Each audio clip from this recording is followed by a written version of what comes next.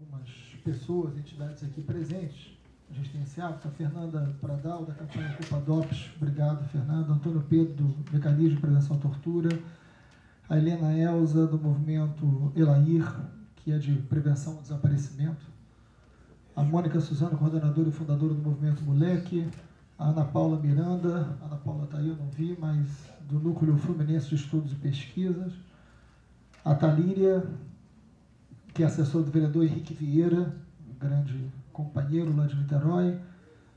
Enfim, daqui a pouco eu vou lendo outros para a gente poder ganhar tempo. Então, João Dornelles, por favor. Bom, é, antes de mais nada, eu agradeço ao deputado Marcelo Freixo, amigo de muito tempo, militância também, companheiro de militância de muito tempo, a todos os é, membros né, de entidades, de movimentos sociais, de grupos coletivos que estão presentes e é, passo direto a refletir junto com vocês alguns pontos que são importantes é, neste dia de hoje, não somente, quer dizer, dois dias antes é, do Dia enfim, Internacional dos Direitos Humanos, como também no Dia da Justiça. E num ano né, especialmente importante, um ano em que nós completamos, no mês de março, na verdade, no dia 1 de abril, 50 anos do golpe, né? e um ano que, a partir desse golpe militar, né, a gente vê a continuidade é, de uma série de violações massivas, sistemáticas de direitos humanos. Para falar do golpe, e falar não somente do golpe, mas da relação do golpe com os dias de hoje, a ponte entre o presente, no caso, entre o passado e o presente, é importante lembrar algumas coisas. O golpe não é um momento isolado na história do Brasil e não é um período, né, a ditadura civil-militar, um momento isolado na história do Brasil. É, é um momento dentro de uma história de 514 anos de violência, 514 anos de violação sistemática, massiva e contínua de direitos humanos. 514 anos de exceção, mesmo nos períodos né, de institucionalidade democrática. A base né, da formação social brasileira é a continuidade, a permanência de três pontos que se eh, interligam: o autoritarismo, que vem desde o início, um autoritarismo que existe permanece mesmo nos momentos em que institucionalmente nós temos a possibilidade de sentar aqui, né? não existe uma ditadura, ou melhor, não existe uma ditadura institucional, podemos dizer, né? então a gente tem alguns espaços institucionais é, do Estado Democrático de Direito, mas o autoritarismo, ele não foi rompido na história do Brasil desde 1500 até hoje, está presente né, no seio da sociedade brasileira. Junto com esse autoritarismo, nós temos uma sociedade altamente excludente. São 514 anos de exclusão social.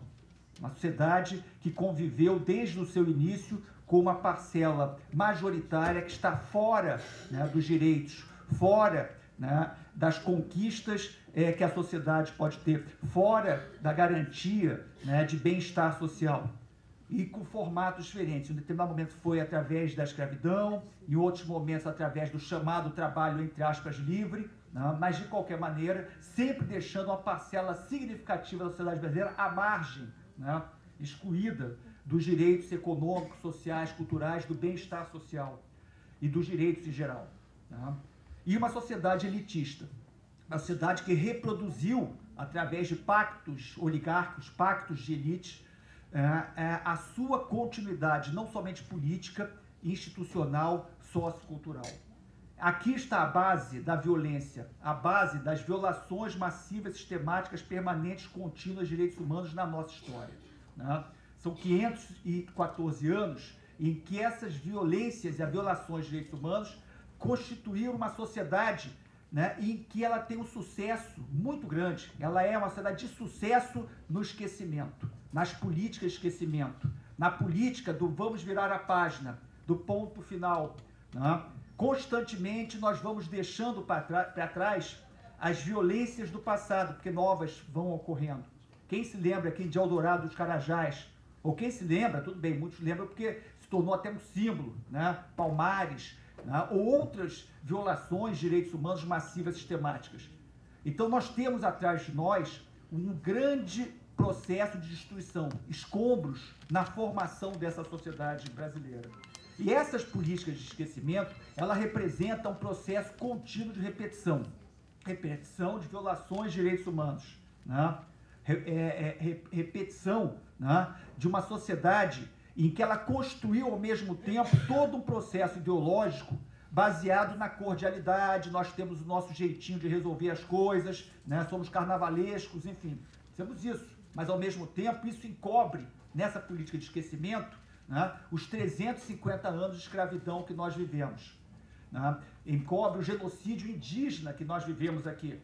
Né? E o período né, que se inaugura em 1964, se inaugura com golpe civil e militar, é um período que aprofundou esse, esse DNA, essas características da sociedade brasileira.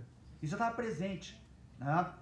Em 1964, através de um longo processo, que eu não vou narrar aqui, até porque senão nós perderíamos muito tempo, que vai se dando né, no decorrer dos anos 50 e nos primeiros anos dos anos 60, de fortalecimento né, dos segmentos mais conservadores, mais reacionários, das oligarquias, né, de uma série de setores que colocavam qualquer reforma minimamente, é, é, enfim, é, mínimas reformas no campo social como uma grande ameaça, né, fez com que se preparasse, germinasse o terreno para que o golpe aparecesse. O golpe militar, o chamado golpe militar, é o golpe empresarial civil militar.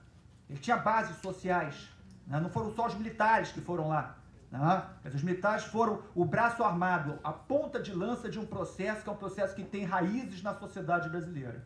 Raízes nos setores oligárquicos, nos setores do empresariado brasileiro vinculado a um mercado internacional, né? com toda uma série de interesses nacionais e internacionais para que se rompesse naquele momento a ordem institucional, a ordem constitucional, a ordem democrática.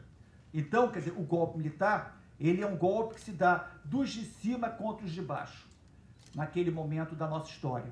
E ele, na, nesse processo de 21 anos, né, que nós poderíamos, e um dos, um dos é, objetivos da Comissão da Verdade, seja nacional, que vai estar entregando o relatório dentro de dois dias em Brasília, seja das comissões estaduais, das comissões setoriais, é tentar investigar as violações de direitos humanos, responsabilidades, neste período de 21 anos.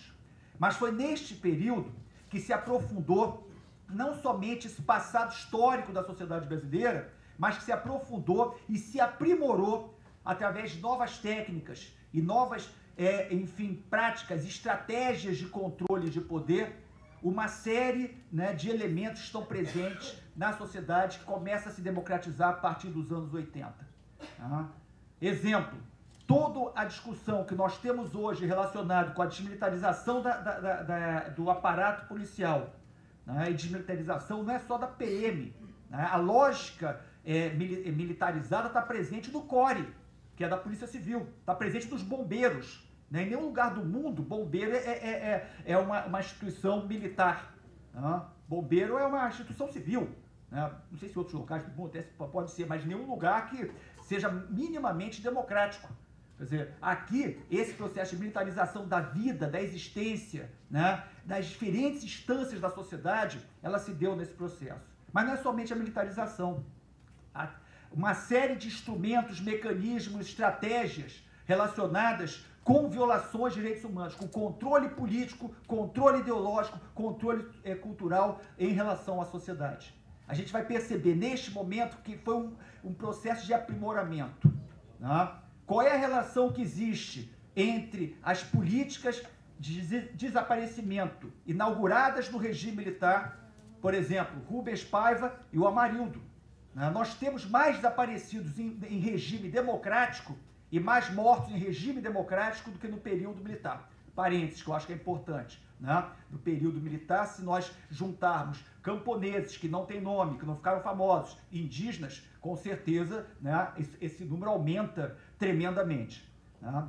Mas nós temos, quer dizer, um processo histórico de continuidade, de permanência, de repetição a partir da transição democrática. E a transição democrática é uma transição inconclusa. Por que, que ela é inconclusa? Se ela avançou em alguns aspectos institucionais, temos eleições de tanto e tanto tempo, temos né, uma formalidade que aparece na Constituição brasileira e que é importante, eu acho que é uma conquista, né? nós temos um atraso muito grande, se nós inclusive compararmos com outras sociedades da América Latina e de outras partes do mundo, África do Sul, por exemplo, em relação à chamada justiça de transição. Já que nós estamos no Dia da Justiça, é importante né, falar um pouquinho disso daqui. O que é a justiça de transição? A justiça de transição ela é um processo né, que se dá em sociedades que vivenciaram um trauma histórico determinado. Pode ser uma guerra civil, né, pode ser uma ditadura, como foi o nazismo na Alemanha, como foi o fascismo na Itália, como foi a ditadura civil-militar no Brasil, no Chile ou no Uruguai. Enfim, diversas sociedades, ou apartheid na África do Sul. Traumas históricos e que têm como consequência violações massivas sistemáticas de direitos humanos como política de Estado. Ah, o Brasil viveu isso. A Argentina viveu isso, a África do Sul viveu isso, El Salvador viveu isso daí. Né? E a justiça de transição, ela tem o papel né, de, através de quatro é, condições que se articulam, né, avançar no sentido né, de não somente é, recuperar na sociedade as condições políticas, econômicas, sociais, culturais, né, de uma vida normal em democracia, como também é, buscar é, pesquisar, saber quais são os responsáveis, quem são os responsáveis e por que, que ocorreram violações massivas e sistemáticas de direitos humanos. Pré, as pré-condições são o chamado direito à verdade, o direito à memória, a chamada justiça né, e as políticas de não repetição. Na sociedade brasileira, nós começamos atrasados isso daqui. Né? Nós, muito pouco tempo, Quer dizer, algumas dessas condições começaram a avançar com muita dificuldade, inclusive o próprio papel das comissões eh, de verdade, seja a nacional, seja as estaduais, né, com muitos limites, né, mesmo assim avançando em algumas coisas. Mas nós vemos né, que este processo é um processo que articula esses elementos todos daqui. Né? Isso é exatamente a relação que vai possibilitar esse elo do passado de destruição, de violações, né, com o presente. Né? É óbvio que nós não vivemos, do ponto de vista institucional, uma ditadura. Os que viveram a ditadura saberiam que nós não estaríamos é, é, é aqui sentados né, neste momento. Possivelmente estaríamos cercados né, é, por tropas ou teríamos todos presos. Por fim, conversar, debater né, e apresentar um relatório né, como esse daqui. Eu vivi uma ditadura, muitos de vocês viveram e sabem disso. Eu vivi com situações ridículas, né? como por exemplo a universidade ser cercada e fechada porque havia um show de música de uma é, cantora argentina de protesto social, enfim, chamada Mercedes Sosa. Né? Foi proibido. Né? O balé Bolshoi, considerado né, um balé é, de excelência, né, que inclusive as classes mais ricas do mundo adoram assistir né, pelo mundo afora em Paris, enfim, por era da Rússia, né, era de Moscou, enfim, foi proibido, porque representava um perigo, talvez vindo né, num passe qualquer, num, numa, numa pirueta qualquer da bailarina, né, uma ilação ideológica vinculada ao comunismo internacional, alguma coisa do gênero. Então nós, quer dizer, vivemos isso aí, vivemos a censura, o exílio, né? vivemos as perseguições vinculadas a colocar limites a que as pessoas pudessem conseguir emprego, né? e vivemos violações né? como mortes, perseguições, execuções. O que hoje é chamado auto de resistência não era chamado assim é, é, naquele momento, mas era forjar né? a morte de pessoas. Foi experimentado ali, foi aprimorado ali. Né? Foi exatamente, é, é, é enfim, é, organizado como uma estrutura, uma máquina de moer gente, como diria o Darcy Ribeiro em, em relação à história brasileira. Então, falar desse processo daqui, de violações massivas, sistemáticas, constantes, permanentes de direitos humanos, coloca uma tarefa para todos nós. Né? Uma tarefa de entender esse passado para poder atuar no presente. Né? Como eu coloquei agora há pouco, qual é a relação que existe entre o Rubens Paiva, desaparecido político, né? em 1970, quer dizer, pelo regime militar, né? morto né? e desaparecido seu corpo, quer dizer, o Stuart Angel e o Amarildo. Né? Qual é a relação que existe isso daqui? Existe uma série de pesquisas, né? e aí eu me permito uh, falar muito rapidamente de, de duas autoras norte-americanas, Caitlin Sickin e Carrie é, Walling, que fez, fizeram uma pesquisa na América Latina toda sobre exatamente os processos de transição e a justiça de transição. E elas, nesses processos, analisando né, a transição democrática na Argentina, Uruguai, Chile, na América Central, no Brasil, elas organizaram uma coisa que elas chamaram de escala de terror político. Né?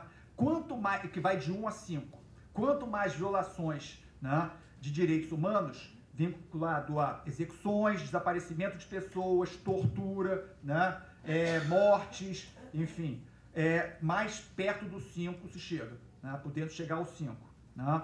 É, no primeiro momento, elas olharam Argentina, o Chile, depois Brasil, Uruguai e outras sociedades. Argentina e Chile, né, no período da ditadura chilena e argentina, esse índice, né, essa escala de terror político, já era muito perto do 5. Ou seja, existia muito 30 mil argentinos desaparecidos, fora os mortos, né, executados, e as torturas e assim por diante. Né, chegava muito próximo dos 5. Né. Com a democratização, né, baixou isso daqui na Argentina no Chile. Né? É um pouco mais de um, quase chegando a dois. Né? As coisas de americano gostam de fazer umas tabelas e coisa e tal, mas de qualquer maneira, eu quero dizer o seguinte: em democracia, porque eles avançaram nos processos de transição, é, enfim, de transição é, da justiça de transição, né? de buscar a verdade, de responsabilizar quem, quem, quem, quem violava direitos humanos, de colocar presidentes ditadores na cadeia. É só ver o Videla, ver generais na cadeia na Argentina, né? quer dizer, de ter enfrentado esse processo daqui, é, serve como um relativo, não é total, e a história também pode mudar, mas um relativo né, freio para a ação das forças repressivas atuais na Argentina. A polícia argentina tem que pensar duas vezes. As Forças Armadas têm que pensar duas vezes. As Forças Armadas chilenas têm que pensar duas vezes. O principal comandante né, é chamado DINA, que era o SNI do, do, do, do Pinochet, quer dizer, ele está preso. Né? Ele está preso né, lá, lá, em Santiago do Chile. Né? Bom, aí ela vai para o Brasil. Né? E quando ela chega no Brasil, ela tem uma surpresa. Né? Nós, logicamente, como vivemos aqui, não, não temos essa surpresa, que nós sabemos bem. Né? Quer dizer, e diz aqui, dentre os países pesquisados pelas autoras, o Brasil foi o único que, na época, ainda não havia instalado, nessa, nessa época eles fizeram pesquisa, a comissão de verdade, nada disso. Né? E não tinha julgado ninguém, como ainda não julgou. Tem os julgamentos, quer dizer, que procura, tá, uma certa disputa no, no campo da justiça. Né? E aí diz o seguinte: a partir da democratização no Brasil, é, as violações de direitos humanos, torturas, prisões ilegais, desaparecimentos, execuções é, sumárias, auto-resistência, etc., não só continuaram, como sofreram um aumento significativo a lógica da repetição, da continuidade, a permanência histórica né, das, práticas, das práticas de terror. Ou seja, né, a escala de terror político, o índice, ele aumentou. Chegou mais perto do 5. Já era perto do 5 no período militar. Né, no período do, do, do, do regime né, da ditadura civil-militar. E ele aumenta. Né, ele aumenta. Quer dizer, então, isso daqui é fundamental. Quando nós falamos desse passado, né, quer dizer, não é só, e é muito importante em relação aos familiares, aqueles que vivenciaram aquele momento, né, é também porque a sociedade tem mecanismos de repetição. Né? Quer dizer, ele, ele constrói esses mecanismos de repetição. Não vale a pena aprofundar aqui, mas se a gente entrasse no campo da psicanálise e coisa e tal, Freud falava o seguinte: quando a gente tem um trauma muito grande, sei lá, morreu um avô, teve um problema sério na infância, sei lá o quê, muitas vezes a gente é, é, cria mecanismos de repetição na nossa vida em relação àquele trauma. As sociedades também vivenciam isso, né? em relação à violência. E nós temos isso em relação a toda uma história anterior. Né? É fundamental que se faça uma comissão da verdade em relação à escravidão, que é uma proposta, inclusive, do, da, da OAB Federal. Né? É óbvio que a gente não tem aqui os é, ex-escravos que já morreram todos. Mas nós temos a população brasileira, que na sua grande maioria né, é negra, Né? Quer dizer, eu venho quer dizer, é, dessa mescla da sociedade brasileira em que todo mundo tem um pouco né, de sangue negro, e se não tem o sangue negro por algum motivo, né, incorpora né, todo o legado da cultura, né, é, da, das lutas desse povo aqui no Brasil. Dizer, ou seja, só é possível a gente avançar né, no sentido de civilizar essa sociedade aqui, com as lutas que nós travamos, companheiro Marcelo e vocês aqui, militantes, companheiros de, luta, né? mas também, quer dizer, olhando para esse passado né? e passando a limpo esse passado. Porque só assim a gente pode tentar né, dar um, fazer um rompimento histórico em relação às violações massivas e sistemáticas de direitos humanos. Obrigado.